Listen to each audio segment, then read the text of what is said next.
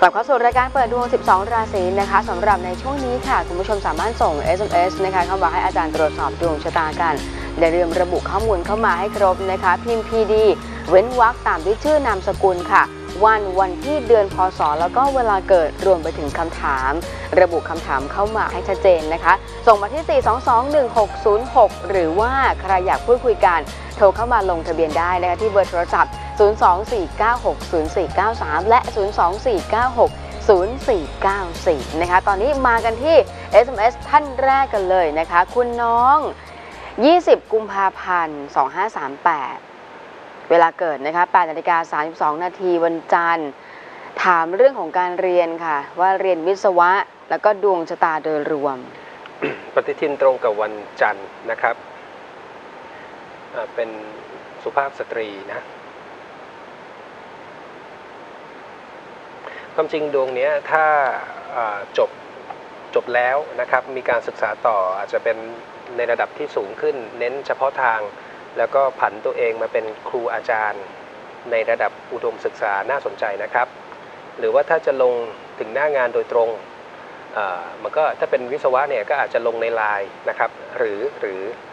เป็นลักษณะบริษัทที่ปรึกษางานด้าน Engineering แต่อันนี้อาจจะต้องใช้ประสบการณ์มากหน่อย อันนี้ผมผมว่ากันยาวๆหลังจากทำงานไปสักระยะหนึ่ง แต่ถ้าถามว่า เมื่อจบแล้วทำควรจะเน้นอะไร วิศวะได้เปรียบฮะนอกจากจะลงในเรื่องของในลน์หน้างานโดยตรงทำลักษณะพวกเชิงพาณิชยกรรม พวกงาน commercial หน่อยก็ทำได้เซลล์เอนจิเนียร์นะครับพวกโ r ร c ิวเมนต์ก็ทำได้นะจัดซื้อจัดจ้างพวกเครื่องจักรอุปกรณ์ที่ใช้ภายในโรงงาน อันนี้ยสำคัญมากนะอันนี้จะเด่นกว่าลงในลน์โดยตรง และมีเงื่อนไขนิดเดียวฮะไอ้กลุ่มงานที่บอกบอกว่าเด่นเนี่ยควรจะทำต่างถิ่นฐาน หรือมีต่างชาติถือหุ้นครับ SMS ต่อมาค่ะ คุณเล็กนะคะ 31 สิงหาคม 2507 นะคะ เวลาเกิดประมาณ3ทุ่มกว่า วันจันทร์ทำไมการเงินติดขัดมาก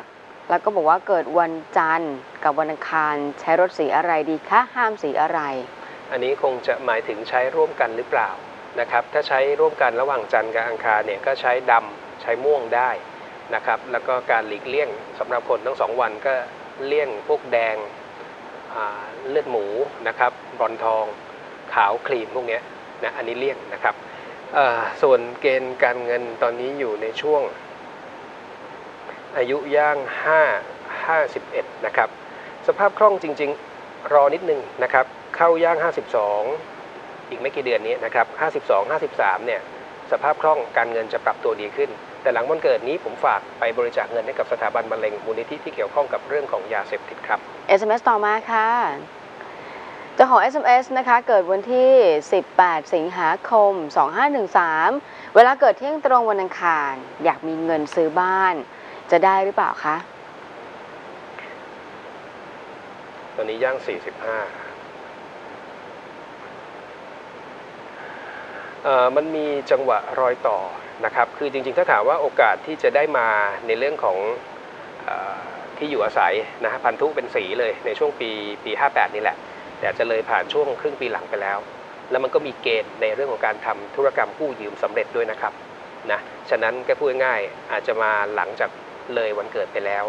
หลังวันเกิดถวายชุดสังฆทานพร้อมกับซื้อน้ำดื่ม ถวายพระสงฆ์ครับ ทะเบียนรถ 2090 ค่ะ อ่าสร้างสรรค์แต่อาจจะต่างจากขนบนะครับ 90 ก็เป็นเลขที่เอื้ออำนวยต่อความสำเร็จ อันนี้ใช้น้ำพระพุทธมนต์แตะที่เลขศูนย์ครับ เบอร์โทรศัพท์ 74 ค่ะ เป็นคู่สมพลชื่อเสียงเด่นดังประสบความสำเร็จในสิ่งที่ทำได้ SMS ต่อมาค่ะ คุณไพฑูรย์นะคะ 26 กรกฎาคม 2512 เวลาเกิด9นาฬิกาตรงวันเสาร์ การลงทุนปีหน้า ทำอะไรแล้วก็บอกว่าตอนนี้ติดหุ้นอยู่เยอะ ฟังผมให้ดีนะคุณไพฑูรย์ การลงทุนในเรื่องของหุ้นนะลงในตลาดทุน หรือแม้กระทั่งการทำธุรกรรมแบบเข้าหุ้นร่วมลงทุนของคุณเนี่ยมันไม่ดีเลย ทั้งในช่วงย่าง 46 ตั้งแต่กลางปีที่แล้วถูกไหมฮะติดเยอะ และมันจะต่อเนื่องอีก 1 ปี ช่วงนี้นะเข้าย่าง4อ่ากำลังจะครบ 46 เต็ม 47 อีก 1 ปีและผมมองว่ามันจะมีผลกระทบ มากกว่าช่วงเวลานี้ด้วยนะครับ ฉะนั้นถ้าถามถึงนโยบายการลงทุนก็ถ้าเป็นผมเองไม่ไม่ไม่ล่วงรู้ลึกขนาดที่ว่าจะต้องลงทุนลักษณะอย่างไหน แต่เกณฑ์โดยรวมของการลงทุนช่วงปีหน้าก็ยังไม่ดีนะไม่ว่าคุณจะ cut loss หรือว่าชะลอการลงทุน อันนี้ให้ให้ปรึกษาทาง marketing ดูนะครับ SMS ต่อมาค่ะ SMS ต่อมานะคะคุณอ่านเลขบ้านทับ59 เป็นยังไงคะ ก็เป็นเลขมงคลทั้งคู่ฮะเลข 5 กับเลข 9สำหรับคนไทยนะครับศีลบริสุทธิ์พระหัตถ์พระเกตกันในแง่ของสิ่งศักดิ์สิทธิ์และความสำเร็จครับ SMS ต่อมาค่ะ SMS ต่อมาคุณสถิตนะคะเกิดวันที่ 10 สิงหาคม 2523 เวลาเกิดประมาณ7นาฬิกาถึง7นาฬิกา30 นาทีลัคนาราศีอะไรจังหวัดศรีสะเกดสีสะเกต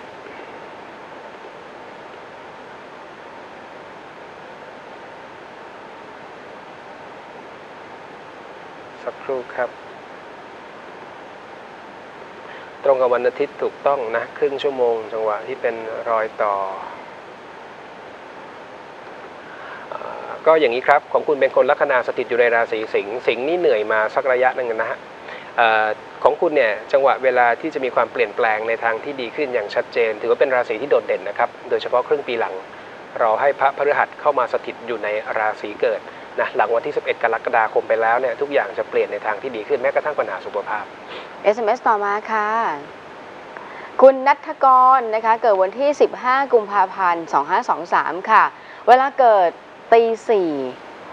นะถามเรื่องของชื่อ ระบุว่าเกิดวันศุกร์ค่ะ ก็เป็นเด็กรุ่นใหม่ไม่น่าจะพลาดนะฮะในแง่เวลาเกิดวันศุกร์ทางปฏิทินสากล แต่ว่าเกิดตีสีฟ้ายังไม่สว่างก็ต้องถือว่าน้องนัทกรเนี่ยยังเป็นคน วันพระฤหัสบดีอยู่นะครับ ชื่อดีไหมคะ นัทกร นัทกร อันนี้ใช้วักมนตรีนำนะครับ ตกน้ำไม่ไหล ตกไฟไม่ไหม้ ไม่ติดกาลกินีเลขศาสตร์ก็ใช้ได้ สัมมาทรัพย์ เมื่อรวมกับนามสกุลสัมมาทรัพย์นิดนึงครับ อาจจะเป็นคนวิตกกังวล แล้วก็ทำอะไรอาจจะต้องใช้ความพยายามออกแรงมากกว่าคนอื่น แต่โดยรวมพอใช้ได้ครับ SMS ต่อมาค่ะ เลขห้อง 604 อยู่แล้วเป็นยังไงบ้างคะ จริง ๆ มันก็มีทั้งบวกและลบะนะครับ ก็คือในแง่ถึงบาปประเคาะมริตยูในด้านดีก็คือพวกเป็นคนชอบค้นคว้า ชอบทำในสิ่งที่แปลกใหม่ มีความคิดอ่านที่สร้างสรรค์ แต่บางครั้งแม่บทของดาวก็ระบุไว้ชัด ในแง่ของภัยอาเพศความพลิกผัน ฉะนั้นก็ทำอะไรคือกล้าคิดอันนั้นดี แต่ขอให้ทำด้วยความรอบคอบระมัดระวัง อันนี้ใช้ทองคำเปลวแท้นะครับ บริกรรมคาถาชินบัญชรแล้วตั้งจิตอธิษฐานให้ดี ขออำนาจพระพุทธคุณ พระธรรมคุณ พระสังฆคุณ ปัดเป่าอิทธิพลของดาวที่ไม่ดี แล้วก็ขอให้อยู่เย็นเป็นสุขนะฮะ ปิดไปที่เลขศูนย์ SMS ต่อมาค่ะ SMS ต่อมาคุณคุณเดนุนะคะ เกิดวันที่ 11 เมษายน 2536 เวลาเกิด 9 นาฬิกา 5 นาทีวันอาทิตย์ ถามโชคลาภถามการเงินค่ะ ปฏิทินตรงกับวันอาทิตย์นะครับ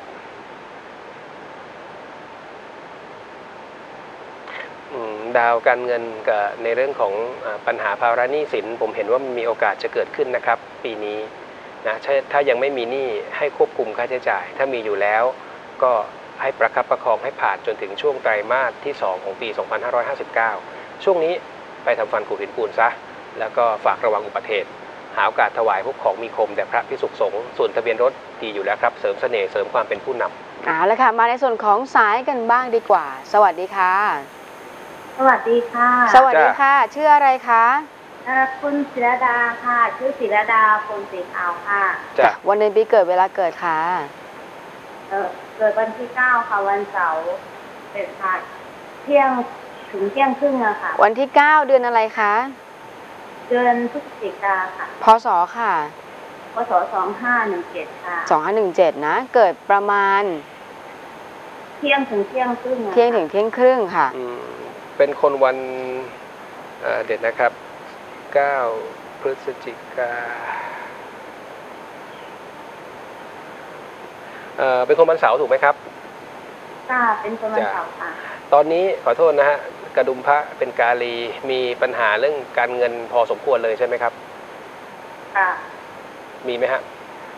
มีค่ะจ้ะเอ่อตอนนี้ทำงานอะไรอยู่ด้วยหรือเปล่าครับถ้าทำงานเอ่อทำงานบริษัทนะคะทำงานเป็นงานโรงงานนะคะโรงงานผลิตอะไรฮะผลิตเอ่อชิ้นส่วนอิเล็กทรอนิกส์อะค่ะเอ่อลักษณะเอ่ออิเล็กทรอนิกส์เนี่ยนะครับพวก IC อะไรพวกนี้ใช่ไหมเป็นชิ้นส่วนอะไรเลยอะค่ะทำอะไรก่อนจะประกอบนะคะเป็นชิ้นส่วนของอะไรคอมพิวเตอร์นะคะอ๋อก็เป็นอ่าไซส์ใหญ่ คืออย่างนี้ครับถ้าอ่าคือถ้าถ้าว่ากันด้วยงานที่ทำก่อนนะงานที่ทำระยะยาวทำได้เรื่อย ๆ นะครับทำได้เรื่อย ๆ นะครับ แล้วก็เอ่ออีกหน่อยก็มีโอกาสที่จะได้เลื่อนชั้นเลื่อนตำแหน่งในในขอบขวดอ่าในขอบเขตที่ควรจะเป็น นะครับฉะนั้นงานเนี่ยยืนยันว่าทำได้ แต่ตอนนี้คุณเสียเรื่องเงินจริงๆนะ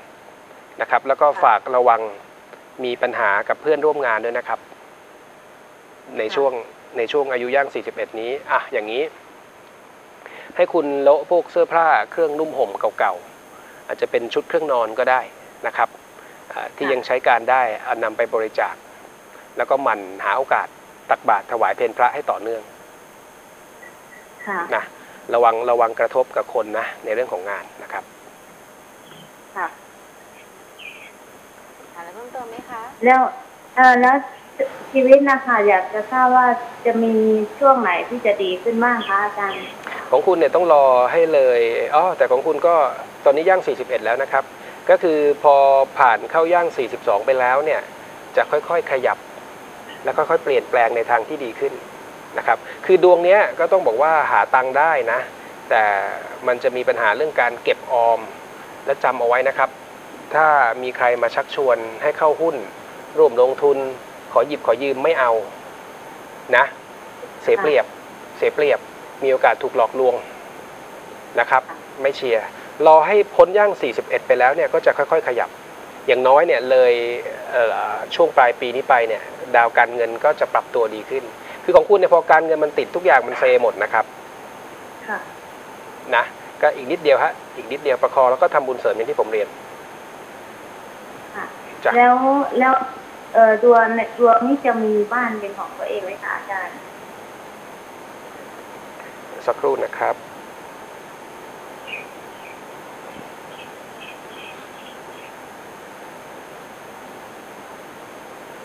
เอ่อ ย่าง 44 นะ ย่าง 44 ความจริงช่วงปีหน้าเนี่ยก็พอมีลุ้นนะครับ แต่ว่าผมมองว่ามันอาจจะยังเป็นไซส์หรือขนาดที่ยังเล็ก แต่ฝากไว้แล้วกันนะ ก็คือหลังวันเกิดมีโอกาส แต่ถ้าไม่รีบร้อนย่าง 44 ผมว่าตรงนั้นน่ะจะจะดีกว่า คุณเองจะมีความพร้อมมากกว่านี้ครับแล้วที่ที่อยู่ปัจจุบันนี่มีมีเกณฑ์จะโยกย้ายไหมคะอาจารย์ ถ้าถามถึงการโยกย้ายเปลี่ยนแปลง อย่างที่ค่ะผมเรียนเมื่อสักครู่นะ ที่บอกว่าหลังวันเกิดเนี่ย มันก็มีโอกาสในเรื่องของที่อยู่นะครับ และเกณฑ์เกณฑ์โยกย้ายไม่ย้ายบ้าน ก็ย้ายที่ทำงานครับ ฉะนั้นตอบคำถามว่ามีโอกาส อย่างนี้นะ ถ้าย้ายลักษณะย้ายแล้วไปเช่าอยู่ก่อนก็ได้ ถ้าคิดว่ากำลังยังยังยังไม่ไหวนะเพราะตอนนี้ผมว่าคุณเองก็มีหนี้พอสมควรถูกไหมค่ะนะ ก็คือมันมีเกณฑ์ย้ายครับ จะเป็นลักษณะการเช่าก่อนก็ได้ แล้วค่อยย่าง 44ก็อย่างที่ผมบอก ตรงนั้นน่ะถ้าเกิดลักษณะของการถือกรรมสิทธิ์เป็นเจ้าของซื้อบ้านในนามของเราอะไรพวกเนี้ยจังหวะตรงนั้นผมว่าน่าจะดีกว่าค่ะจ้ะชื่อชื่อนี่รักค่ะอาจารย์อยากจะถามว่าชื่อจะเปลี่ยนดีไหมคะชื่อนี้เดี๋ยวสะกดชื่อก่อนนะคะ ค่ะจ้ะสะชื่อกดเออสอสาราค่ะสระอีค รับรอเรือรอเด็กสระอาค่ะศิรดา อันนี้ก็เปลี่ยนมาแล้วรอบหนึ่งหรือเปล่าครับเนี่ย คือถ้าเปลี่ยนแต่เปลี่ยนมาแล้วค่ะอ่าแต่ไม่ได้ไม่ได้ไม่ได้ดูคือเปลี่ยนตามตามพจนานุกรมอะค่ะ ไม่ได้ดูอะไรเลยค่ะ นามสกุลนามสกุลอะไรครับ เอ่อพอพานรอลิงขอเสือสระอี แล้วก็เอ่อขอไข่สระอาโมเรนะคะพ่นสีขาวค่ะ ก็ให้ระวังปัญหาพวกสายตาความดันหน่อยนะสายตาความดันพวกเนี้ยนะครับ แล้วก็ถ้ามีปัญหาผลกระทบเรื่องความมั่นคงในเรื่องของงานด้วย ก็ควรจะเปลี่ยนนะ ก็ควรจะขปรัอบแก้อีกนิดนึงค่ะอาจารย์อยากชื่อลูกมาค่ะอยากถามว่าจะเปลี่ยนดีไหมคะชื่อเขาดีไหมคะอะด้วยความรวดเร็วฮะลูกเกิดวันที่เท่าไหร่ครับเกิดวันที่เก้าค่ะ เดือนครับ เดือนตุลาคมปีสองสอง สองห้าสี่เก้าค่ะ2549กี่โมงคะเอ่อเก้าเอ่อเก้าเอ่อแปดโมงแปดโมงห้าสิบเก้านาทีค่ะ วันจันทร์นะครับ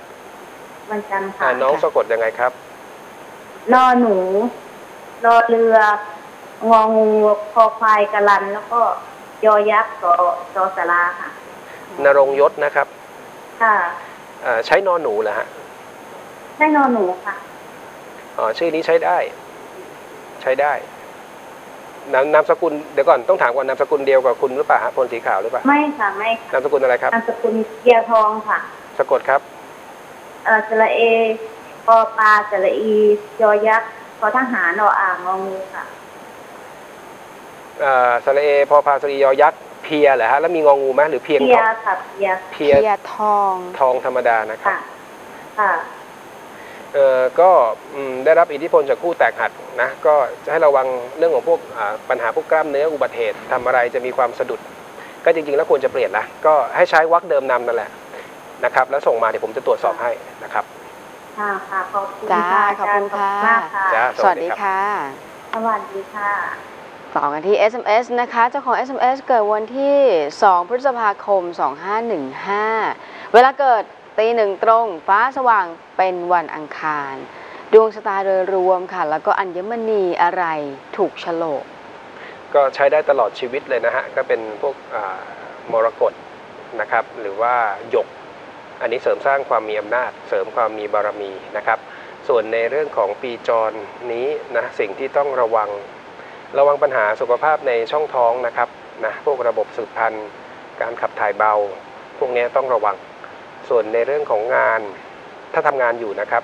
ปีนี้เกณฑ์เรื่องของงานมีโอกาสขยับขยาย โดยเฉพาะการริเริ่มสิ่งใหม่ ถ้ามีความรักให้ระวังเรื่องของคำพูดครับ SMS ต่อมาค่ะ SMS ต่อมานะคะ คุณเกษรา เกิดวันที่ 23 กันยายน 2541 ค่ะ เวลาเกิด 9 นาฬิกา 49 นาที พุธกลางวัน การเรียนนะบอกอีก 2 ปีจบม .6 แล้ว อยากเข้ามขอนแก่นจะได้ไหมคะ อีกสองปีอ่าอีกสองปีเกณฑ์ในเรื่องของการสอบแข่งขันก็ไม่ค่อยจะดีเท่าไหร่นะนะครับ คือถ้าจะได้แต่อาจจะไม่ได้ในอาจจะไม่ได้ในคณะ หรือมหาวิทยาลัยที่เราคาดหวังนะครับ แต่ว่าในเรื่องของการศึกษาต่อเนี่ยได้เรียนต่อแน่นะ สิ่งสำคัญนอกจากสถาบันก็คือในเรื่องของสาขาที่ควรจะเรียนมากกว่านะครับของคุณถ้าชอบตัวเลขเนี่ยเชียร์ให้เรียนพวกบัญชีนะครับแล้วก็จบมาเนี่ยขอให้เน้นในเรื่องของพวกการตรวจสอบนะครับจะเป็นผู้ตรวจสอบบัญชีในอนาคต หรือลักษณะของการตรวจสอบบัญชีภายในองค์กรก็ได้ อีกกลุ่มหนึ่งที่เด่นและใช้คำว่าเด่นกว่า เรียนในสาขาวิชาที่จบมาแล้วทำงานที่เกี่ยวข้องกับพวกงานฝ่ายต่างประเทศอันนี้ดีมากครับ SMS ต่อมาค่ะ คุณอัศรานะคะอ่าถามว่าเบอร์ลงท้ายด้วย 12 เดือนรวมเป็นอย่างไรบ้างอ่าถ้าความหมายเอาเลขมาบวกกันคงไม่ต้องบวกนะครับ เพราะว่าอย่างทางสมาคมหรือว่าหลักการที่ผมใช้เนี่ยอ่าตัวเลขแต่ละตัวหมายถึงดาวพระเคราะห์แต่ละดวง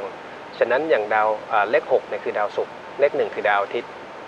เลข2คือดาวจันทร์ มันคงไม่ใช่การจับดาวศุกร์มาบวกดาวอาทิตย์ และบวกดาวจันทร์กลายเป็นพระเกตไม่ใช่ ฉะนั้นนี่คือเหตุผลว่าทำไมต้องไม่รวมนะก็ดูแทนค่าเฉพาะไปเลย ก็เบอร์นี้ถ้าใช้เนี่ยตัดคู่หลังทัดท้าย 1 2เนี่ยเป็นคู่ครัวเรือนครับ แต่ในแง่ของกำลังพระราหูก็มีอิทธิพล ฉะนั้นจริงๆ ถ้าถามว่าควรเปลี่ยนไหมก็ควรเปลี่ยน ขยับเป็นหนึ่งหนึ่งราชาโชคฮะเสริมเสน่ห์คนรักคนเมตตามีคนช่วยเหลืออุปถัมภ์ครับเอาละค่ะเดี๋ยวช่วงหน้ายังสามารถส่งข้อมูลเข้ามาทาง SMS นะคะให้อาจารย์ตรวจสอบดวงชะตากันได้อย่าลืม ระบุข้อมูลเข้ามาให้ครบค่ะ วันวันที่เดือนพศและเวลาเกิด ส่วนคำถามเรื่องของอาชีพก็ต้องบอกด้วยนะคะ ว่าทำอะไรอยู่ หน้าที่การงานกิจการการค้า หรือว่าค้าขายประเภทไหนนะคะ ส่งข้อมูลทั้งหมดค่ะมาที่ 4221606พักกันสักครู่ค่ะครับ